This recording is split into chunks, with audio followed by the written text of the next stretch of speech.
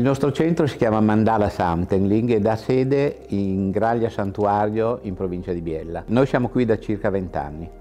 Le nostre attività principali sono la meditazione, insegniamo le basi del buddismo e facciamo dei ritiri spirituali. In genere la gente viene perché è incuriosita e poi ci chiede che cosa può fare. Allora noi suggeriamo innanzitutto delle letture, poi se vogliono possono partecipare ai nostri insegnamenti e quando decideranno di essere pronti per ricevere delle iniziazioni inizieranno il percorso buddista. Il percorso buddista è un percorso spirituale ma è anche un percorso di vita perché ci fa capire le cause e le condizioni delle cose, ci fa comprendere la, la reale natura dei fenomeni e soprattutto ci insegna l'impermanenza e l'interdipendenza.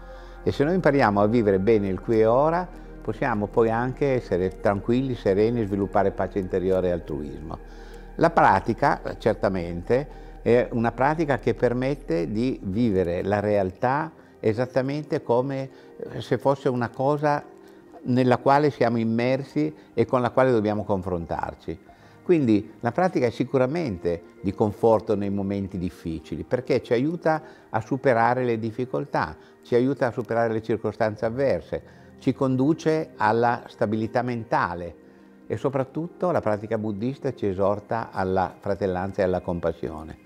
Il nostro contributo all'ambiente, quando noi siamo venuti qua la gente aveva delle difficoltà ad accettarci, però noi abbiamo sviluppato, ad esempio sul territorio, il dialogo interreligioso, cosa che prima non si faceva, diamo luogo a delle iniziative culturali, facciamo delle tavole rotonde, diamo dell'assistenza spirituale a tutte le persone che sono in difficoltà e non è necessario che siano delle persone buddiste, sono anche appartenenti a delle altre tradizioni e che ci chiedono un consiglio.